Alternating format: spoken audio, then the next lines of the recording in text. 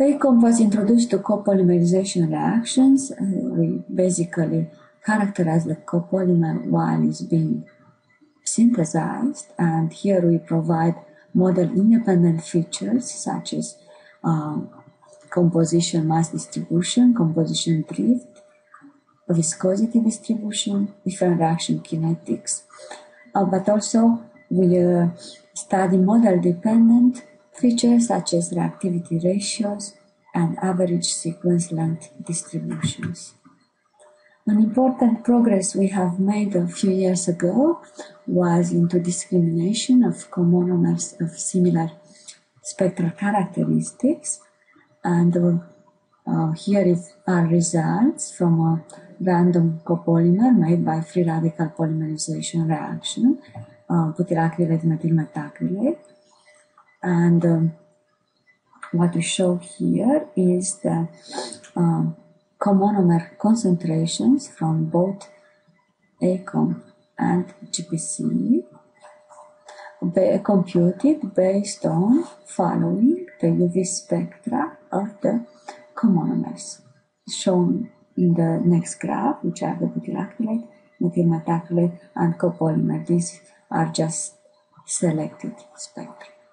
Uh, knowing the concentration of the comonomers allows us to uh, determine the average composition drift during the copolymerizations and shown on the right is the instantaneous fraction of the butylacrylate versus total conversion for reactions done with different initial comonomer composition. This uh, makes unnecessary to determine the activity ratios since we have the composition drift at each moment during the conversion. Copolyelectrolytes are um, synthesized and monitored by ACOMP as well. And uh, what we see here, it's a copolymer of acrylamide and styrene sulfonate. And shown on the left are the styrene sulfonate monomer conversion, acrylamide conversion, and molecular weight. As you can see, the styrene sulfonate finishes very quickly, uh, whereas acrylamide is not total, it's just 20 some 30 percent polymerized. As the styrene sulfonate finishes, acrylamide uh, polymerizes faster, and this allows us to obtain a blend. Basically, uh, first would be a copolymer, and second part would be a um, acrylamide. And you can see this uh, huge difference in molecular weight.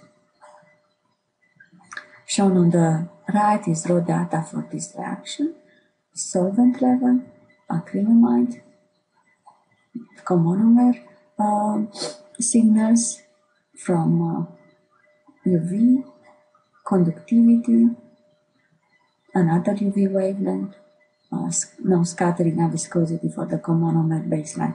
As the reaction proceeds, uh, scattering is increasing, viscosity increases as well, whereas conductivity and UV signals decreases the monomer is consumed. Another type of copolymer um, studied by uh, ACOMP will be the diblock, and these are made by RAFT. Uh, this uh, example shown here, it's a, a methyl methacrylate uh, first block, followed by an addition of the uh, butylacrylate monomer, which uh, builds the second uh, polymer block.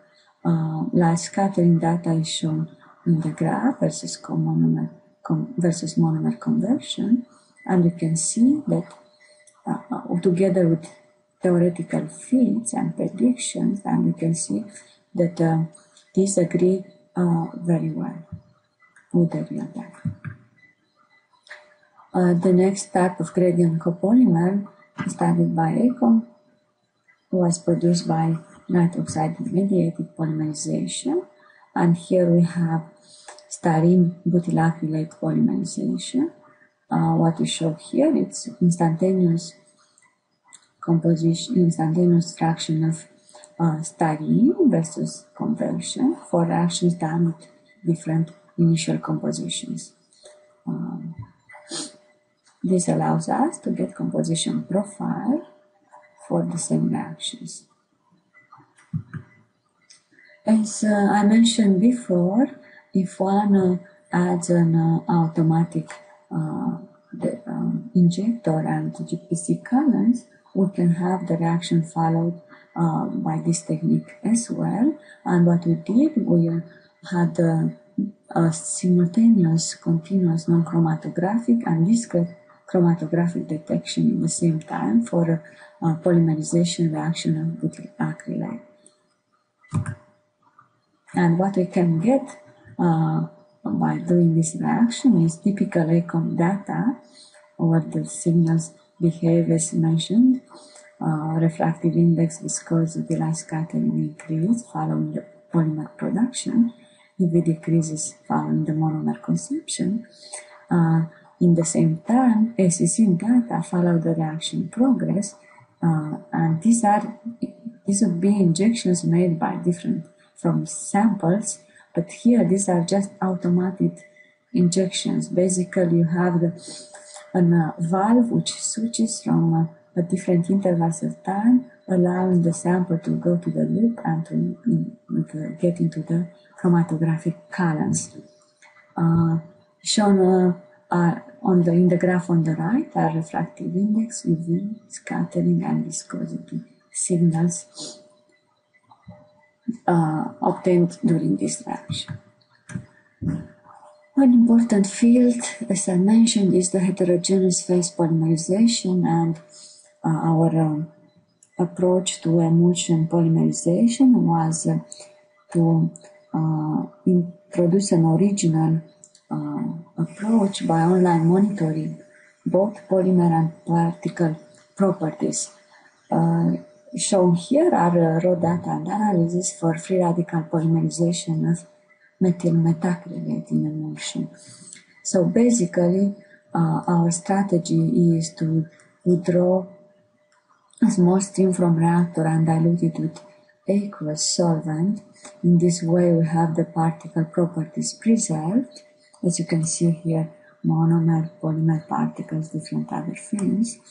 In this way, we are, our detectors, um, based on Mie scattering or dynamic light scattering, provide size and size distribution and particle number.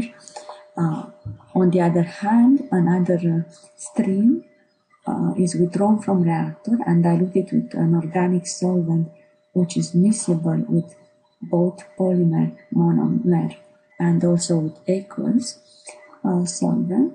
Uh, in our case, tetrahydrofuran was used. In this way, the polymer is, uh, the particle content is um, dissolved, and uh, we have typical polymer calls, and we have typical analysis for it, such as molecular weight, reduced viscosity, and other features. In this way, we offer uh, simultaneously a characterization of polymer and particles, making a bridge between the polymer and colloid walls. For uh, a contrasting uh, view, molecular weight for living and free radical polymerization in emulsion is shown here. Uh, so different trends um, in molecular weight is butyl acrylate is added in short or continuously for nitroxide mediated polymerization and for a free radical polymerization. Typical living trend is obtained here uh, for NMP reactions, um, molecular weight, linear with conversion. For the free radical polymerization, we have um, high molecular weight going down with conversion as termination occurs. Uh, very low molecular weight as the monomer is introduced semi-batchwise, as expected. Uh, this allows us to get into the next step, which is predictive control to programmable reagent flow to the reactor. Uh, here, uh, we looked into free radical copolymerization and uh, uh, since we get detailed quantitative reaction kinetics with ACOMP, it allows us for predictive control, for uh, conversion kinetics, for molecular weight distribution, and copolymer composition. Uh, going through uh, typical equations, which relates our uh, monomer concentration to uh, flow features. we could be in the starved regime, in a flooded regime, or in isoreactive regime. And following these equations, we can have results on predictive control of molecular weight. In this case, uh, molecular weight for a free radical polymerization of acrylamide is shown here in batch mode, typical free radical behavior. Uh, then in a mode where monomer was flowed uh, to keep molecular weight constant, and uh, last monomer was calculated to be flowed as in order to have uh, increase in molecular weight. Another uh, type of control we achieve is controlling composition drift uh, for high drift comonomers, styrene sulfonate and acrylamide. Uh, their natural trend, uh, in case of mole fraction of styrene sulfonate versus time, for a batch reaction will be shown here in black. Uh, if we flow one of the comonomers, in our case styrene sulfonate, it could reach quasi-isoreactive regime or we could have styrene sulfonate flooded type of reaction. So we could reverse the copolymer composition as desired.